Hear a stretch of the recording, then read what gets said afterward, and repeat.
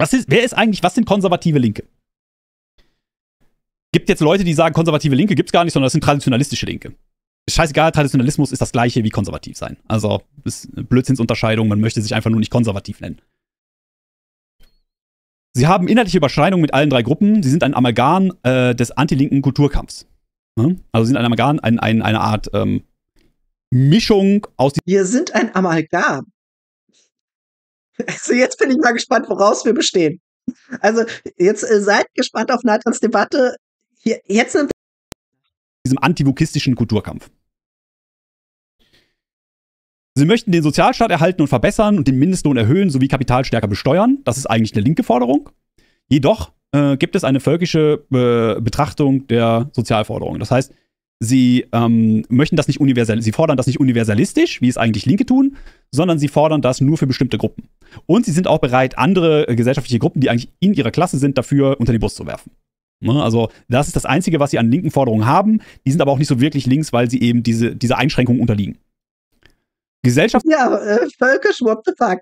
Also, wenn du Einwanderung begrenzen willst, wenn du nicht sagst, no nations, no borders, das Kapital äh, soll alle Menschen hierher holen dürfen, wenn es das will, äh, unser Land nicht in so eine neoliberale Dystopie wie Kanada verwandeln willst, tja, dann bist du völkisch. Also komplett irre.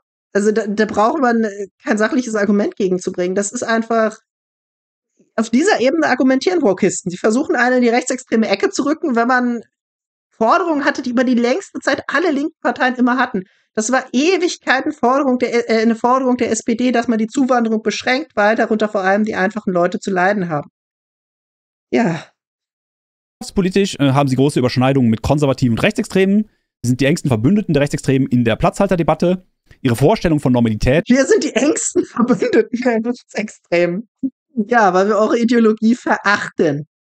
Also wir sind nicht die größten Verbündeten der Rechtsextremen, die, wie gesagt, gesellschaftliche Relevanz haben und in der Platzhalterdebatte so gut wie gar nicht vorkommen. Anderes Thema, sondern wir verachten euch einfach und wir greifen halt die meisten Leute ab, die eher links denken. Die meisten Leute, die mit der aktuellen Politik nicht zufrieden sind, die meisten Leute, die sich Umverteilung wünschen, die werden von uns abgegriffen und diese Leute würdet ihr gerne erreichen. Deswegen bekämpft ihr uns mit am härtesten. Deswegen kommt ihr mit solchen absurden Vorwürfen aller völkisch und rechtsextrem und sonst irgendeinem Schwachsinn als wünschenswertes Ziel ihres eigenen Lebens steht über den Rechten und Bedürfnissen von Minderheiten. Das ist konservativ bis rechtsextrem, ne? je nachdem, wie es ausfällt. Ja, wir sind konservativ bis rechtsextrem. Äh, und ich will Hitler an die Macht bringen. Das äh, wusstet ihr wahrscheinlich schon, wenn ihr regelmäßig Neid anschaut. Also wer nicht der Walking-Ideologie folgt, der ist rechtsextrem. Formuliert wird. Außenpolitisch sind sie teils sogar rechter als die Konservativen und oft auf Linie mit den Rechtsextremen. Äh, beispielsweise nehmen sie in Kauf, dass die Ukraine vernichtet wird, äh, damit Energie auf dem deutschen Markt vermarktet Dumm soll es noch werden. Also,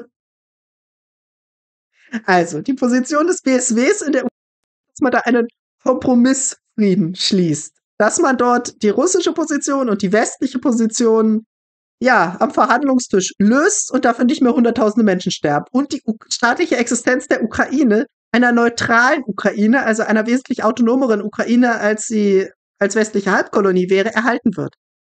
Also, wir fordern mehr Autonomie für die Ukraine und nicht weniger und das Herstellen einer Friedenslösung. Also aktuell verbessert sich die russische Verhandlungsposition jeden Monat. Das heißt, je länger man mit Verhandlungen wartet, desto schlechter wird es für die Ukraine aussehen. Und äh, Neidal macht jetzt raus, äh, ja, die sind rechtsextrem, weil sie die Ukraine vernichten wollen. Also, das sagt der Typ, der auf der Seite von ukrainischen Faschisten, der auf der Seite von Azov steht. Also Azov, äh, deren, also das Azov-Bataillon ähm, beziehungsweise Azov-Regiment beziehungsweise jetzt die dritte Sturmbrigade der ukrainischen Armee, hat sich immer wieder umbenannt, jetzt ist es in die ukrainische Armee angegliedert. Deren ehemaliger Chef Ron Bilecki ähm, hat vom, wartet, finalen Kreuzzug aller weißen Rassen gegen das semitische Untermenschentum geschrieben. Also das ist äh, die Rhetorik, die der, Chef, äh, der ehemalige Chef davon, beziehungsweise der Chef von Azov fährt. Der saß übrigens auch im ukrainischen Parlament für Poroschenkos Partei. Also der ist bestens äh, vernetzt im ukrainischen Establishment. Das ist nicht irgendein Outlaw, das ist, äh, der ist wirklich gut vernetzt in der ukrainischen Politik. Oder habe ich gerade Ron Bilecki gesagt? Andrei Bilecki hieß der. Sorry, sorry. Da hatte ich mich gerade vertan. Aber äh, das ist da die Rhetorik, die von solchen Leuten gefahren wird, auf deren Seite Neidland steht. Und äh, Leute, die das kritisieren, die sagen, müssen wir dann Leute, die Bandera feiern, jetzt mit Waffen beliefern? Vor allem das Pentagon hat jüngst festgestellt, dass es bei 59 Prozent der Waffen keine Ahnung hat, was mit denen passiert ist. Kann man jetzt äh, nur spekulieren, aber die werden wohl auf den Schwarzmärkten dieser Welt auftauchen oder die haben sich dann diese rechtsextremen Milizen irgendwo beiseite gelegt für eventuell einen kommenden Bürgerkrieg oder so. Weiß man nicht, weiß man nicht. Wie gesagt, 59 Prozent der Waffen unauffindbar. Ähm, gibt übrigens ein Interview mit äh, Dimitri Jarosch, dem Führer von C14. Das ist so eine, äh, ja, die Jugendorganisation von Swoboda. Und der hat gesagt, wir haben, ähm, nur die britische Armee hat mehr Javelin-Raketen als, als wir. Jetzt kann man sich natürlich fragen, wie kommen modernste westliche Javelin-Raketen zu einer Neonazi-Kampftruppe? Könnte man sich fragen, wenn äh, man tatsächlich Antifaschist wäre. Aber nein, also Erwin sagt ja immer, das, was man selber macht, nämlich hier mit Rechtsextremen zusammenarbeiten, mit den ukrainischen Faschisten, das unterstellt man dann dem Gegner. Also das ist so irre. Und ja, die Wokisten, die wollen hier, die stehen hier auf Seiten des westlichen Imperialismus, die wollen die deutsche Bevölkerung dafür leiden lassen durch hohe Energiepreise, dass die USA uns hier ihr Frackinggas verkaufen können und unser Land deindustrialisiert wird. Also sie machen aktiv Politik gegen die Mehrheit der Bevölkerung zum Gunst, äh, zugunsten der geostrategischen Interessen der USA. Das lässt sich ziemlich leicht sagen. Also, also ja, was. Und wenn man das dann kritisiert, diese Haltung, die ich hier gerade skizziert habe, dann ist man rechtsextrem meintlich günstiger wird. Ne? Also sie gucken auf ihren eigenen Teller und sagen, hier, ich will, dass meine Energie günstiger wird, ich will, dass Putin mir wieder mein Gas liefert und dafür soll die Ukraine verrecken. Äh, sie glauben, dass äh, mit einer extrem repressiven Migrationspolitik die Situation für deutsche Arbeiter verbessert wird. Auch das ist konservativ bis rechtsextrem. Also, wo man dann sagt, die äh, Migranten können ruhig an der Grenze zurückgeschlagen werden und wir können äh, eine sehr repressive Migrationspolitik machen. Hauptsache, dem deutschen Arbeiter geht es dann besser. Auch das ist ein, ein Scheinargument für eine Scheinlösung.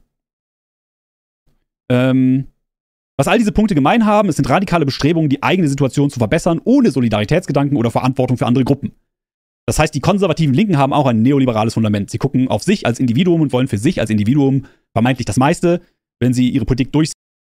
Also, der Mann, der hier gerade eben für eine Wirtschaftspolitik, die nur US-amerikanischen Interessen nutzt, die unser Land deindustrialisiert und die Bevölkerung verarscht hat, der bezeichnet Leute, die das dann kritisieren, als neoliberal bis rechtsextrem.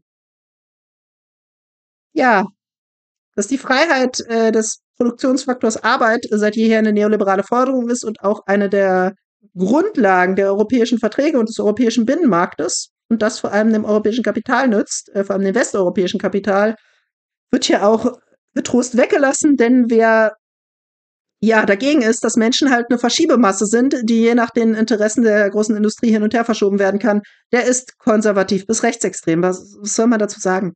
Diese Leute sind unsere Feinde, sie hassen uns, sie wollen uns aus dem Diskurs ausschließen und diffamieren uns als rechtsextrem. Allein in dieser, äh, ähm, in dieser Folie hier dreimal und immer wenn diese Leute über andere reden, dann, also meinen sie eigentlich sich selber. Also wie gesagt, in der Ukraine arbeiten sie mit Rechtsextremen zusammen, Sie arbeiten mit Neoliberalen zusammen, sie verfolgen einem Kern neoliberale Ideologie und sie sind die liber äh, liberale Degenerationserscheinung, die in den USA vom tiefen Staat, von der CIA, von großen Thinktanks, vom Finanzkapital gepusht wurde. Sie sind das, was sie uns hier vorwerfen. Setzen wird das Gegenteil passieren, aber sie glauben nicht so recht daran. Ne? Also es ist auch ein neoliberales Fundament, kein Solidaritätsgedanke, keine Verantwortung übernehmen. Ähm, und äh, ja. Das heißt, für mich wäre die treffendere Bezeichnung Antilinke äh, als besondere Form des Rechtspopulismus. Ne? Für mich sind das. Äh okay, jetzt sind wir wenigstens nicht mehr rechtspopulistisch, sondern nur noch anti äh, nicht, mehr, nicht mehr rechtsextrem, sondern nur noch antilinks und rechtspopulistisch. Das ist ja schon mal. Äh, Outlaw fragt gerade, äh, oder er schreibt gerade, Sie wissen, äh, wie kacke Sie sind, also behaupten Sie einfach, die Gegner sind genauso wie Sie, um ein Feindbild zu schaffen. Ja, exakt. Äh, Erwin stellt das ja jedes Mal fest und das müssen wir gerade auch wieder feststellen. Das, was sie selbst machen, werfen sie einfach dem Gegner vor und denken, sie hätten ein Argument. Also das ist so dumm. Keine konservativen oder traditionalistischen Linken, sondern es sind äh, Rechtspopulisten, weil sie Rechtspopulismus machen. Und ähm, da sie sich ja selber als Anti-Woke bezeichnen und Vogue, der das gleiche bedeutet wie links, finde ich den Begriff Anti-Linke relativ treffend für diese Gruppe. Ja? Und ja, gut, ist klar, was passiert. Ne? Die nennen uns Pseudolinke, jetzt nennen wir die Antilinke. Lustig, aber wir haben halt Argumente dafür und die nicht. so. also. Entscheidet selbst. Schreibt es mir gerne in die Kommentare. Wer hat die besseren Argumente? Also wir vertreten halt tatsächlich linke Inhalte, intersektional, gesellschaftlich, wirtschaftlich, auf allen Ebenen linken Inhalte, während die Antilinken tatsächlich nur, ähm, nur einen, einen, einen kleinen Ausschnitt an linken Forderungen äh, vertreten und ansonsten nur auf ihren eigenen Teller gucken. Die sind dann neoliberal, konservativ bis rechtsextrem. Je nach, je nach Betrachtung, je nach Gruppe.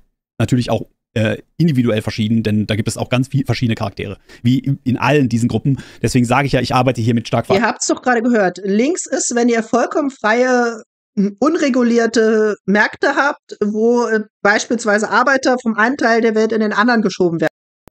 Also weil gerade einer im Chat gefragt hat, was ist links? Was ist jetzt neuerdings links? Also, dass das Großkapital entscheiden kann, wo brauchen wir gerade Arbeiter, da schieben wir sie hin. Völlig egal, was das für die Gesellschaft bedeutet, völlig egal, was das für die dortigen Arbeiter bedeutet. Das ist jetzt laut Neithan links. Und äh, wer was anderes fordert, der ist konservativ bis rechtsextrem.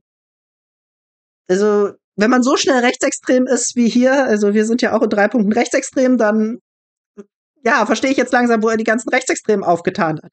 Er bezeichnet einfach jeden Gegner, der etwas anderes denkt als er, als rechtsextrem. Oder Fascho. Outlaw schreibt's gerade. Outlaw wurde von ihm ja auch schon als Fascho bezeichnet. Ja, das ist die Argumentationslinie dieser Leute. Einfach ein Modell. Muss ich aber, weil anders kann ich systematische Zusammenhänge nicht zeigen. So, Fazit. Was ist der Kern der Platzhalterdebatte? Man kann nicht mehr gegen Veränderung argumentieren, also argumentiert man gegen die Art und Weise, wie Veränderung gefordert wird und verhindert Veränderung so durch die Hintertür. Ich kann nicht mehr sagen, ich will nicht, dass Homosexuelle gleichgestellt werden.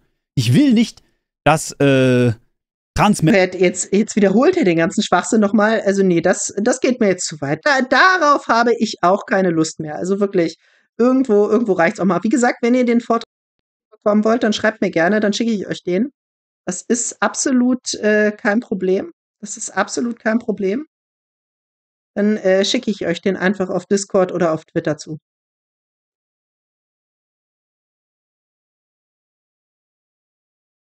Ich muss irgendwie an die Taube auf dem Schachfeld denken. Absolut, absolut.